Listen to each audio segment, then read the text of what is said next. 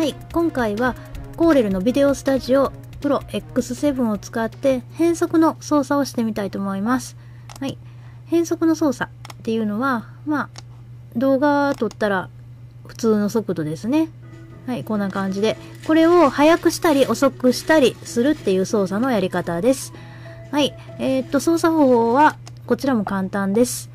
えー、っと、まず、そうですね、この動画を選択して、右クリックで、この再生速度変更タイムラプスっていうところがあるので、これを選びます。で、ここで、こちら、こう速度って書いてますね、速度。これを触るだけです。100が標準スピード。これを下げる。ここで下げてもいいです。で、ここでもいいです。ここで下げますね。はい。こうやって下げると、これは遅くなる方です。数字が少なくなると、スピードが遅くなります。はい。ね、こんな感じです。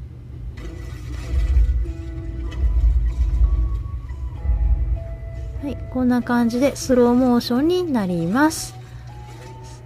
はい。で、これは、また反対の操作もできまして、今さっきはスローモーションでしたね。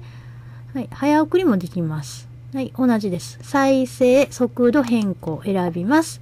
で、こちらで速度で、これね、標準100なんで、これを200にしたら2倍速、ね、400にしたら4倍速ってな感じですね。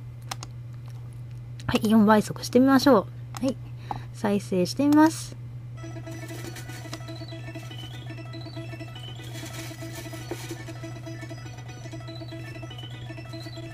はい、こんな感じで簡単に速度変更をすることができます。